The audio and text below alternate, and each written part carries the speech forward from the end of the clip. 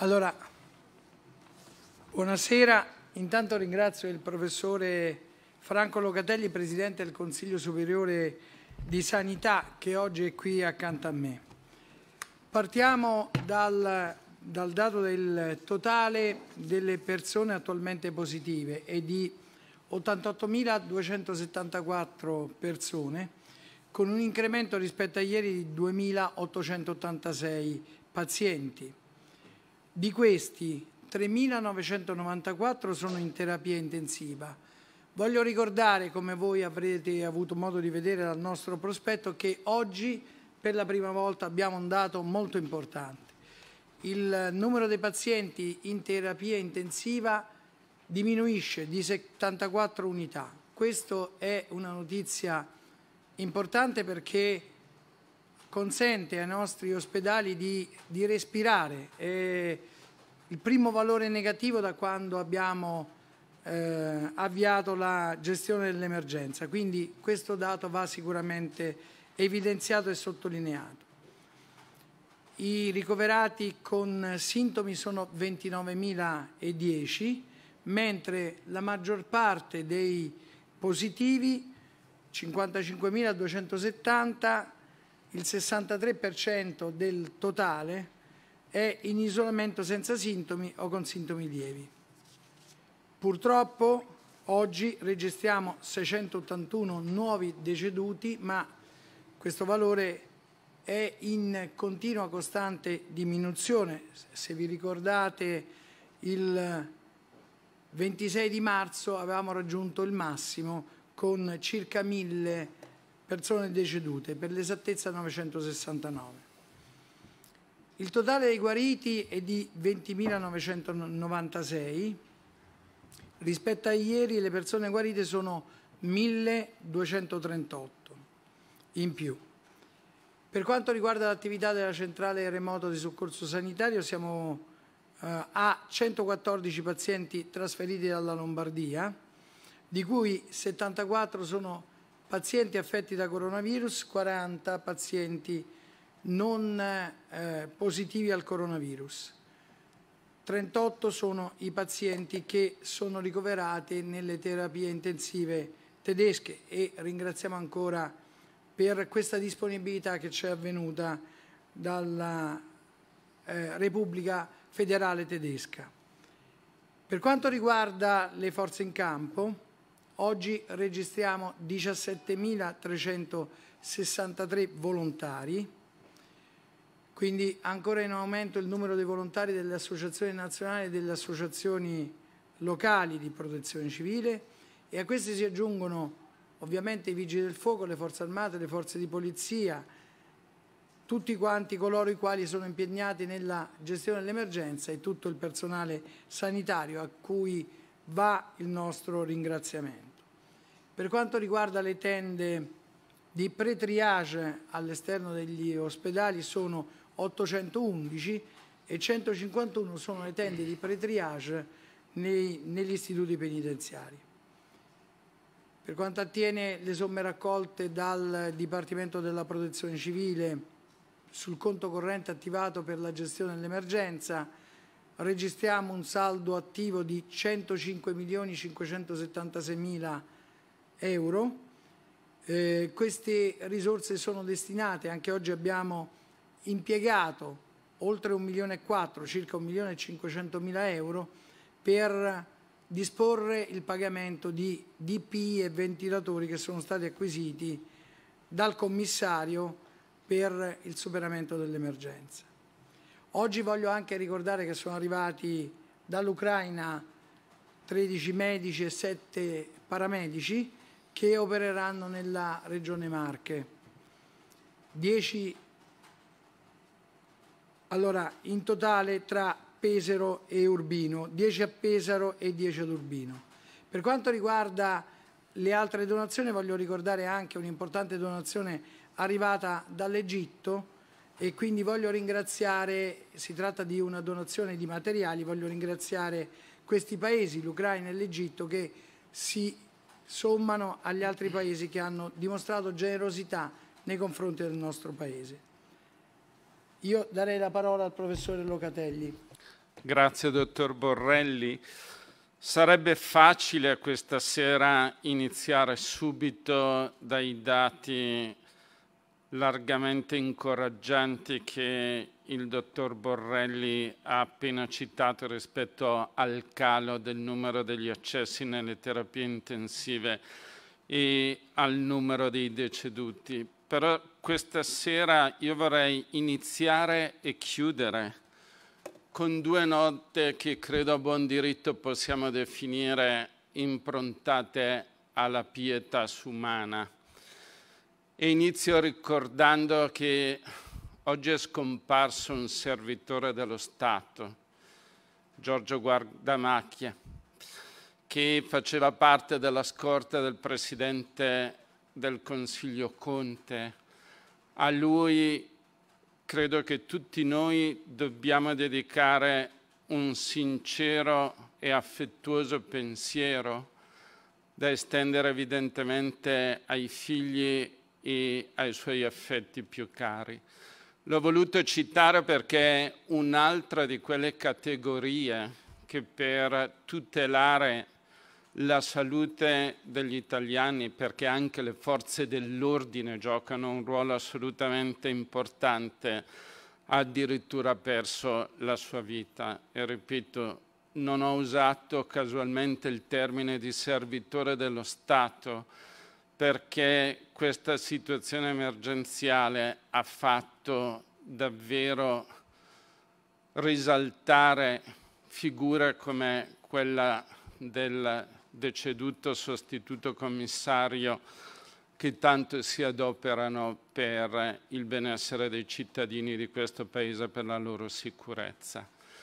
E per parlare dei, e parlando del ruolo delle forze dell'ordine, non posso non riprendere, entrando nel vivo delle mie riflessioni di tipo medico-scientifico, quanto affermato sia il Ministro della Salute, l'onorevole Speranza, sia il commissario Arcuri, richiamando tutti all'importanza di rispettare le norme di distanziamento sociale che rappresentano la strategia più efficace per contenere sempre di più la diffusione del contagio epidemico.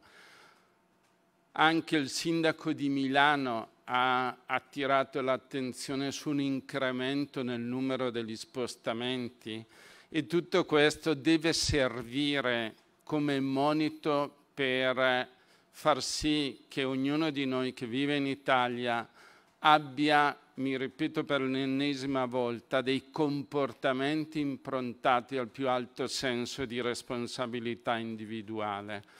È l'unico modo che abbiamo davvero anche per onorare la memoria dei nostri concittadini che hanno perso la vita. La seconda riflessione specifica la faccio riprendendo quello che ha detto il dottor Borrelli.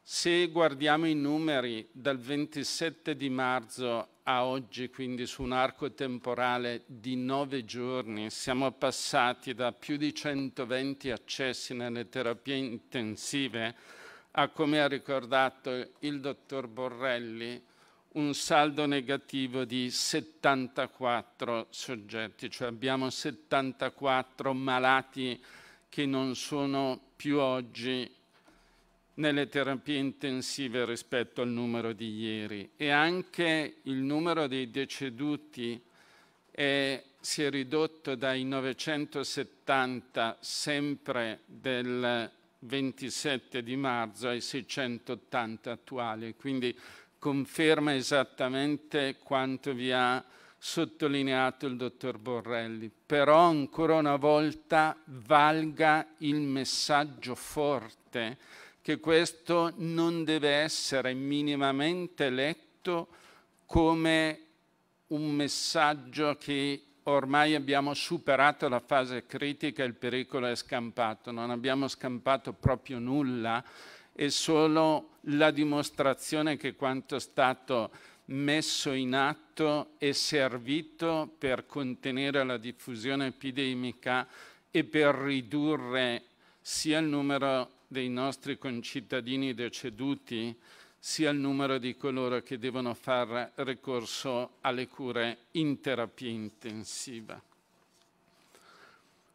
Ho parlato anche ieri del ruolo importante che viene svolto nel nostro Paese nella conduzione degli studi clinici e provo a darvi qualche dato ulteriormente in grado di rifinire quanto vi ho raccontato nella giornata di ieri. Cioè dire che sono state, da quando si è insidiata la CTS di AIFA, quindi dal 17 di marzo, sono stati valutati qualcosa come 53 proposte di studi clinici o di trial. E otto di questi studi sono stati approvati e conseguentemente dopo l'ottenimento anche dell'approvazione da parte del Comitato Etico dello Spallanzani hanno iniziato il reclutamento dei pazienti. Ci sono nove studi che sono stati presentati nella giornata di ieri che saranno oggetto di rapida valutazione ma ancora una volta permettetemi di sottolineare quanto l'Agenzia nazionale del farmaco svolga un ruolo assolutamente cruciale per una conduzione rigorosa di studi clinici. Infatti 17 delle 53 proposte sono state non approvate per mancanza di un solido razionale. Questo vi documenta la serietà nell'approccio e il rigore, i rimanenti numeri essendo rappresentati o da proposte ritirate o da proposte per le quali è stata chiesta documentazione addizionale e un chiarimento da parte degli sperimentatori. E anche questo è quanto il Paese è riuscito a mettere in campo per affrontare una situazione come quella che stiamo vivendo ormai con l'infezione da SARS-CoV-2.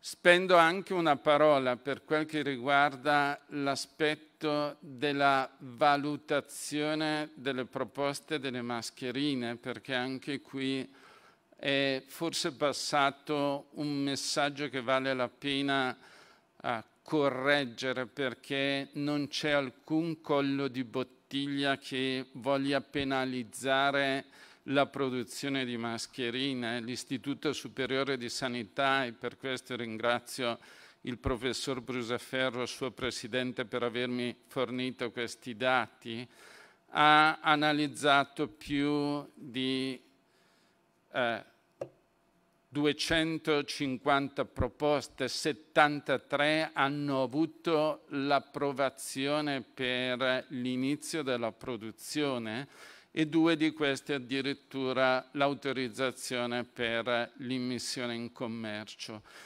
Di nuovo l'Agenzia preposta a questo tipo di valutazione, nel caso specifico l'Istituto Superiore di Sanità, in collaborazione stretta e in dialogo stringente con INAIL, fa di tutto per cercare di dare una risposta anche per quel che riguarda il problema che pertiene alla produzione di mascherine nel nostro Paese.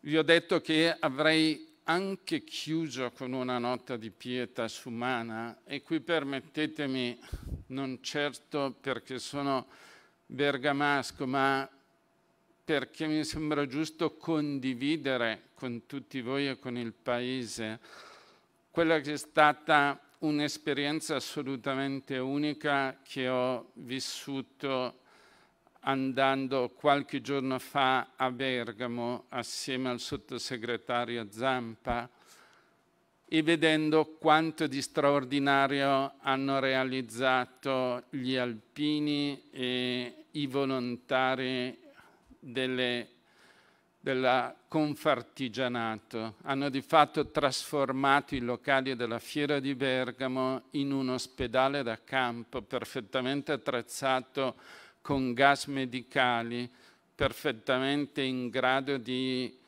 accettare già da lunedì pazienti che ne abbiano bisogno, in questo modo scaricando il carico che andava a gravare sull'ospedale Papa Giovanni di Bergamo. Lo stesso evidentemente si è verificato anche per l'ospedale costruito alla Fiera di Milano. Lo cito come un ulteriore esempio di come un territorio ferito, profondamente ferito, dilaniato dal numero di morti che si sono verificati in quell'area, ha fatto emergere le forze più propositive, la capacità di riprendere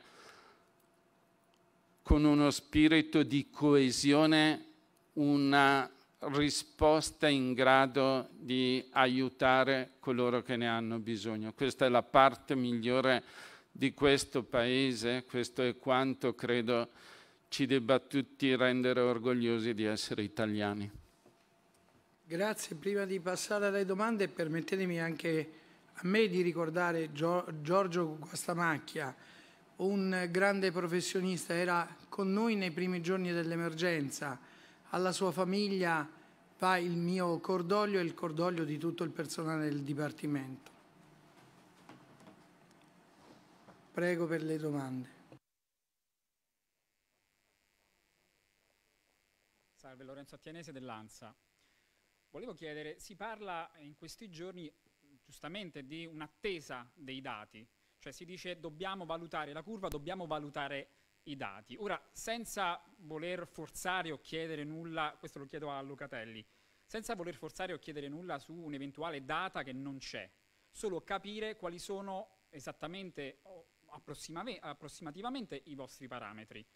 Sotto quale livello bisogna scendere per cominciare ad ipotizzare un possibile diciamo, allentamento delle misure o semplicemente, come diceva Speranza, idea di ripresa economica e quindi di, eh, di eh, ripresa di alcune attività almeno.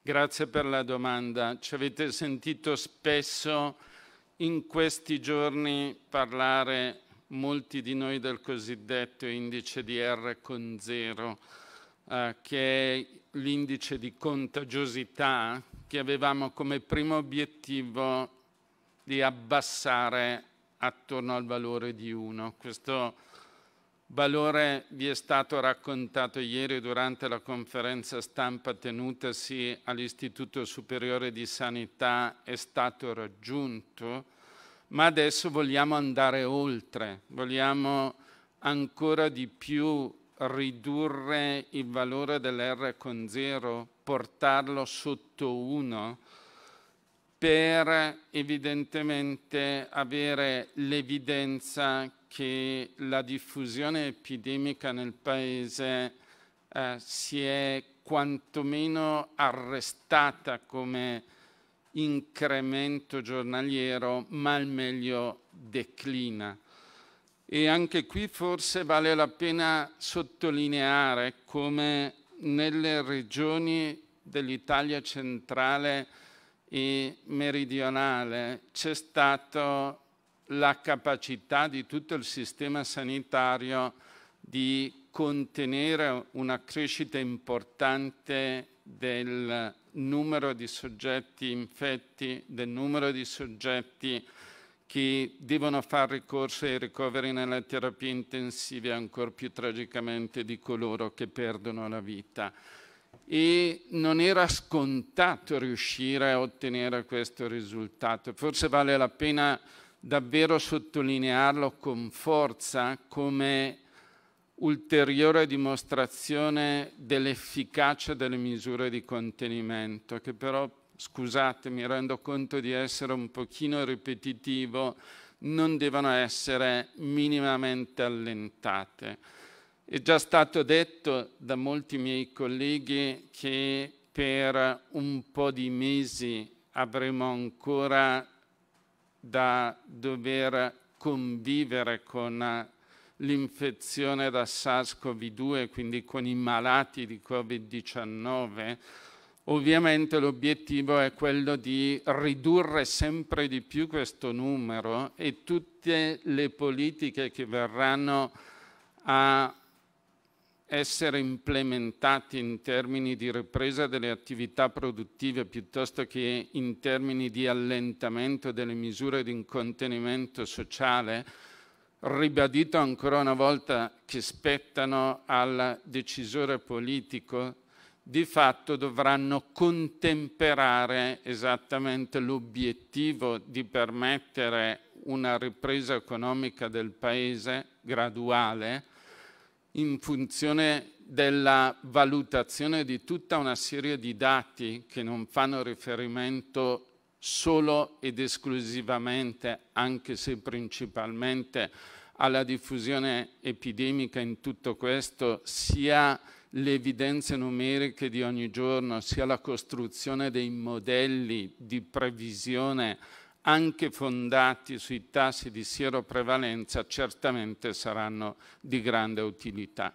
Quindi possiamo dire che quella soglia eh, che le chiedevo è scendere al di sotto dell'R con 1? Sì, l'obiettivo è evidentemente adesso raggiunto il valore di 1 è scendere sempre di più, perché se no eh, non riusciremo a eliminare definitivamente la diffusione epidemica sotto l'R con 1 si può avviare un ragionamento? Da, dal... Il ragionamento è già stato avviato perché evidentemente la pianificazione è una parte importante eh, de, di quello che sono gli orientamenti forniti dal Comitato Tecnico Scientifico per una guida delle scelte che sono di pertinenza del decisore politico sia in termini di misure da adottare o implementare sia in termini di tempistica. La linea è scendere sotto R con 1? Sì.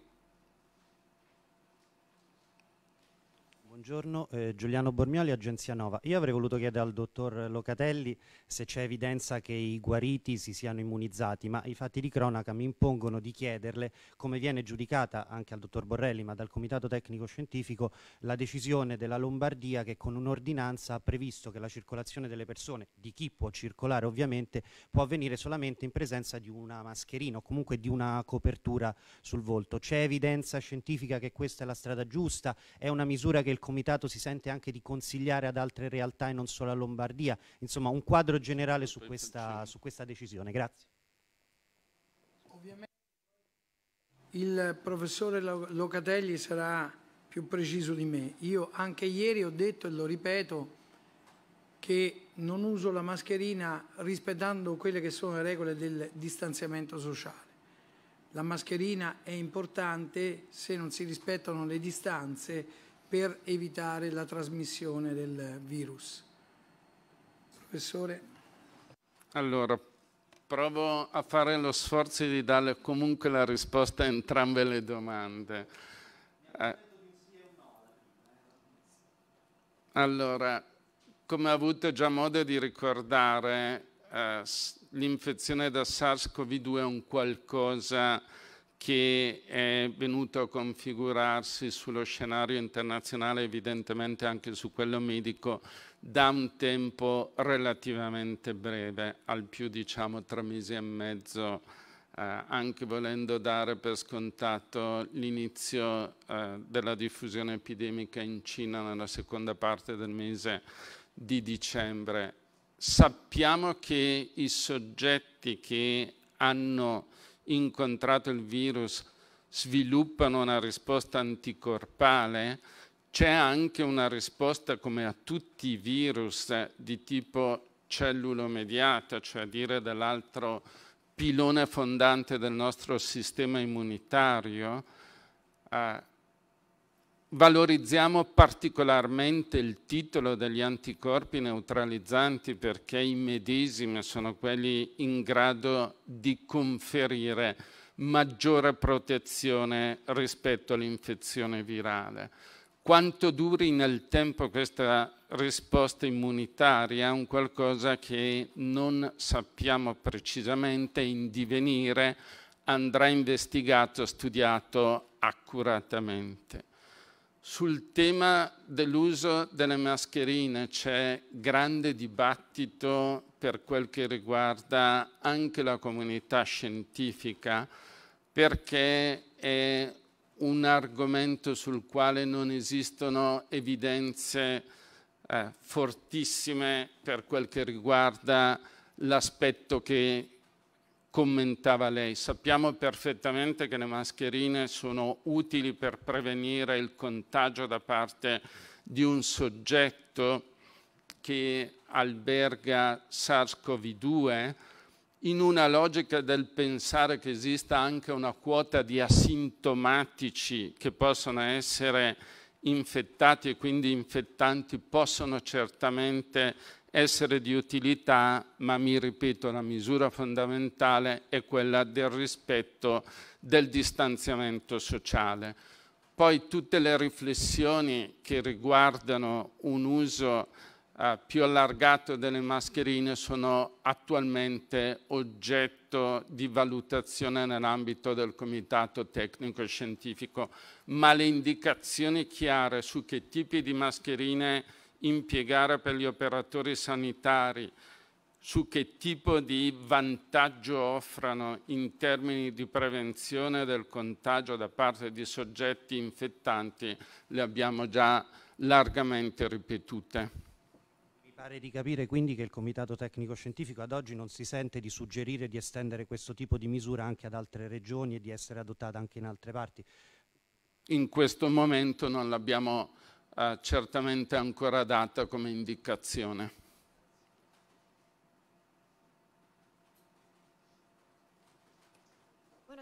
Angela Caponnetto, Renews 24. Eh, faccio una domanda a entrambi perché appunto entrambi Comitato Tecnico Scientifico, eh, in quanto anche Capo Dipartimento di Protezione Civile, eh, le misure vengono prese e vengono comunque considerate all'interno appunto di questo Dipartimento. noi le dobbiamo rispettare. Questo appello è arrivato, arriva continuamente e speriamo che tutti i cittadini lo seguano, però io vi devo sottoporre un caso, eh, non soltanto penso i, i, soli cittadini, i singoli cittadini devono rispettare le regole, ma penso anche chi lavora nel settore sanitario.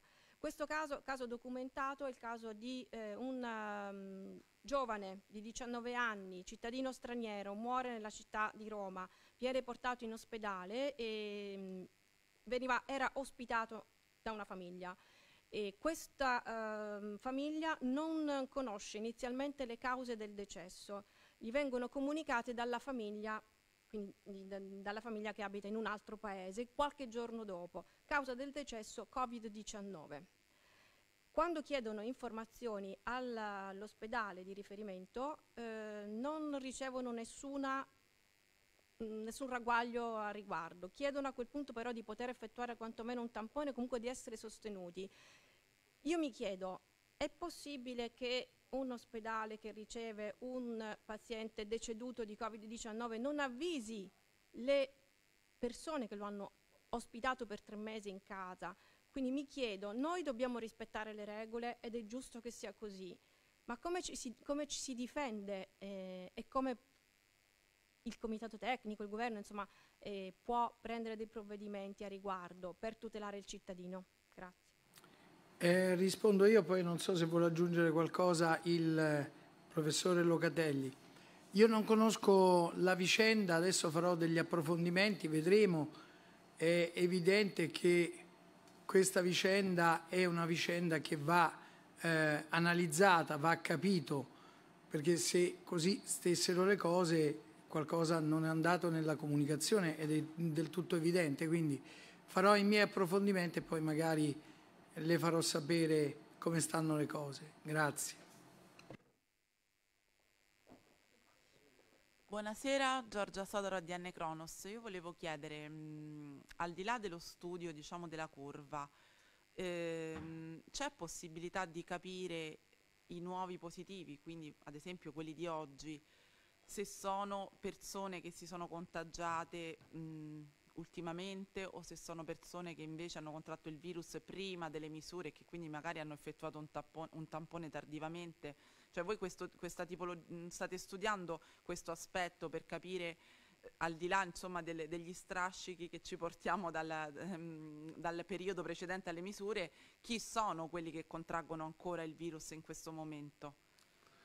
Grazie per la domanda. Ovviamente un livello così analitico, direi quasi granulare di identificazione di chi è risultato oggi positivo al tampone eh, è chiaro che è sostanzialmente eh, non realizzabile, però una interpretazione certamente la possiamo dare. Eh, facciamo tanti tamponi nel nostro paese, eh, ricordiamoci anche questo è un dato da sottolineare perché l'impressione qualche volta che passa che siano stati fatti mm, pochi tamponi, siamo a più di 650.000, quindi un numero decisamente elevato e ricordiamoci sempre che passa il cosiddetto periodo di incubazione, cioè a dire tra quando uno viene a essere esposto a SARS-CoV-2 a quando presenta sintomi a quando poi viene valutato con il tampone e risulta essere positivo. È chiaro che le misure di distanziamento sociale, il lockdown che è stato implementato nel Paese ha ridotto in maniera marcatissima ve lo siete sentito raccontare in tanti modi che senza queste misure ci sarebbe stata una crescita esponenziale non solo di contagiati ma anche di soggetti deceduti, eh, altrettanto evidentemente meccanismi di eventuale contagio intrafamiliare piuttosto che nell'RSA, tanto per citare eh, due delle realtà dove vi possono essere situazioni come queste evidentemente rendono ancora ragione eh, del numero di soggetti contagiati ed è per questo che è così importante ribadire ancora una volta la responsabilità nei comportamenti. Stamattina il commissario Arcuri ha definito la sua una richiesta una preghiera accurata. Beh, credo che abbia scelto in maniera assolutamente perfetta il termine. Andare nelle strade, andare eh, nei luoghi dove ci possono essere dei momenti di aggregazione non è certo un qualcosa che serve né a se stessi né agli altri. Lo ripeto ancora una volta, proteggere se stessi vuol dire proteggere anche gli altri, soprattutto i più fragili e i più indifesi.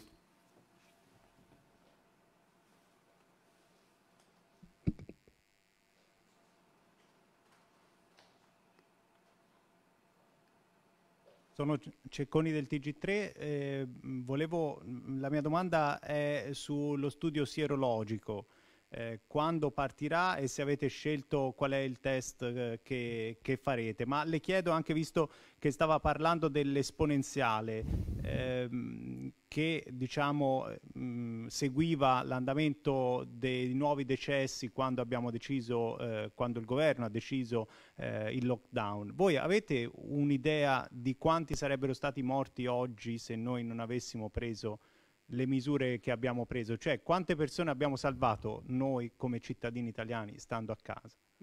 Uno studio autorevole, parto subito dalla coda, eh, uno studio autorevole ha, ha di fatto definito in almeno superiori a 30.000 il numero delle vite che sono state salvate o delle morti evitate attraverso queste misure di contenimento, ma mi faccia provare a dare due ulteriori dati utili per far capire come è cambiata la dinamica eh, nel, nei nove giorni a cui facevo prima riferimento. Il 27 di marzo i deceduti erano il 12% in più rispetto a al numero del giorno precedente, oggi siamo al 5%, i numeri assoluti ve li ho già ricordati, 960 69 contro i 681 di oggi. L'incremento dei ricoverati nelle terapie intensive era un più 3%, oggi siamo a un meno 2%. Il numero totale dei ricoverati è passato da un più 5% a un 1% in più di oggi. Sono numeri che evidentemente parlano da soli. Per quel che riguarda la scelta del test sierologico non è ancora stata definita proprio perché vogliamo avere dei dati solidissimi e di assoluta affidabilità in termini di sensibilità e di specificità. Quello che però dico in maniera molto chiara al Paese è che questi studi partiranno presto, e al di là dell'aspetto che pertiene alla scelta del test diagnostico, c'è già in atto anche tutto un percorso di organizzazione e di definizione procedurale di quello che sarà il dimensionamento campionario e la metodologia per condurre questi studi, quindi come andare a definire la popolazione da investigare, come ottenere il campione di sangue, come poi trasferirlo ai laboratori, tutto nel modo più efficiente agile eh, per ottenere risposte rapide, perché questo è un tipo di valutazione che, come abbiamo detto, è assai importante sia per definire la circolazione del virus, sia per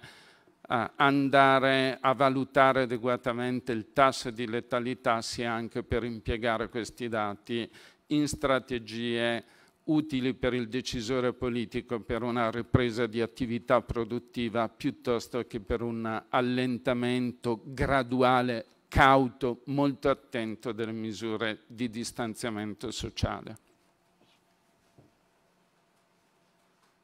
Petraroli, TG2. Professor Locatelli, vorrei capire se eh, vi state confrontando con i medici di altre realtà europee, penso soprattutto a Svezia e Germania. A me risulta, per esempio, Mari me lo può confermare o smentire, che a Berlino ehm, i medici di base stiano facendo a scaglioni un censimento di massa dei pazienti con un mini prelievo e, e la misurazione dell'ossigeno nel sangue, secondo un medico che abbiamo sentito locale, in questo modo un caso eh, si riesce a eh, anticipare che, due giorni prima che diventi critico. Se questa può essere una strada, se la stiamo seguendo, se voi ne siete a conoscenza, se è vero. Poi una piccola curiosità, come mai mandiamo i pazienti in Germania avendo dei posti di terapia intensiva disponibili in Italia? Perché anche in Germania credo abbiano qualche difficoltà adesso. Grazie. Uh, Parto dalla parte della Cross. Noi abbiamo accettato una disponibilità del, della Germania e li ringraziamo la disponibilità l'abbiamo accettata quando avevamo una criticità anche nel nostro paese, quindi adesso, come avete visto, per la prima volta andiamo in eh, negativo e anche la Cross si sta ipotizzando di poter muovere nel territorio regionale i pazienti, quindi trovare soluzioni interne. Per la Lombardia è stata una grande operazione ha permesso, insieme con il movimento dei pazienti nel resto d'Italia, di alleggerire le terapie intensive in un momento in cui eh, vi era una grande necessità. Eh, le do invece io la risposta alla prima domanda, anzi anche qui grazie perché mi offre la possibilità, per esempio, per condividere con l'intero Paese che non più tardi nella, della serata di ieri sera Uh, il dottor Ranieri Guerra, che come ben sapete è il rappresentante dell'Organizzazione Mondiale della Sanità che fa parte del nostro comitato tecnico scientifico, il direttore scientifico dello Spallanzani, cioè il professor Ippolito e io, abbiamo avuto una teleconference con i colleghi tedeschi esattamente per confrontarci su come si sta gestendo nei rispettivi paesi la situazione emergenziale legata a Covid-19 e c'è stato anche un confronto molto utile e direi foriero da entrambe le parti di informazioni in grado di ottimizzare l'approccio su come andare a condurre anche il tipo di eh, studi di sieroprevalenza. Il confronto scientifico è assolutamente cruciale in medicina ancora di più in situazioni come queste, anche facendo riflessioni su quel che riguarda a quello che lei ha presentato che è riassumibile in una parola, implementazione di una forte attività di medicina territoriale eh, rispetto alla quale anche tutto quello che vi è stato già comunicato da giorni e che riguarda il digital health potrà essere di utilità per una miglior gestione domiciliare dei soggetti infettati. Buonasera, sono Mauro Evangelisti del Messaggero e volevo chiedere al professore Locatelli, abbiamo detto che l'R con vero eh, si è avvicinato a 1 e quindi questa è una cosa importante, però come faremo in futuro a evitare che questo, che questo numero torni a salire? Perché è chiaro che quando allenteremo le misure di contenimento c'è il rischio che poi eh, perdiamo i risultati, i bei risultati che abbiamo ottenuto. Ecco, quindi qua, cosa dovremo fare per evitare che questo che questo valore torni a salire. Inoltre sui test sierologici di cui avete parlato anche ieri all'Istituto Superiore di Sanità, molte regioni stanno andando avanti per conto loro, hanno cominciato l'Emilia Romagna, se ne parla nel Lazio, se ne parla nelle Marche, nella Toscana. Possono essere utili questi dati o non sono sovrapponibili con quelli che cercherete voi? Allora parto dalla prima delle sue domande per ricordare innanzitutto che nel periodo di massima uh, valore l'R con 0 era addirittura nell'ordine di 3, quindi un valore triplo a quello che avete sentito raccontarvi ieri. È ovvio, e mi ripeto, che le misure di responsabilità individuale, di attenzione che ognuno di noi avrà saranno cruciali per mantenere, ma insisto anche per abbassare ulteriormente questo valore, quello che ci aspettiamo è comunque che, proprio perché verranno fatte delle scelte straordinariamente ponderate che terranno in conto di tutte le variabili che abbiamo a disposizione, non avremo minimamente più di fronte valori come questi. Ci potranno essere semmai dei focolai epidemici locali, ma quello che si sta facendo è mettere a punto tutto un sistema sia di monitoraggio di questi eventuali focolai epidemici locali, sia di misure correttive per far sì che vengano immediatamente spenti e non si allarghino uh, ulteriormente. Le chiedo scusa, non volevo scotomizzare la domanda uh, volutamente uh, nella, nella, risposta, mi era sfuggita noi vogliamo proporre una strategia da condurre in collaborazione con le regioni. Il CTS, il Ministero della Salute, tutti coloro che gestiranno questi studi lo vogliono fare, lo dico a chiarissime lettere, con le regioni. Con loro lavoreremo e ci auspichiamo che quanto andremo a definire a livello di tavolo del comitato tecnico scientifico poi trovi piena collaborazione nel rapporto con le regioni.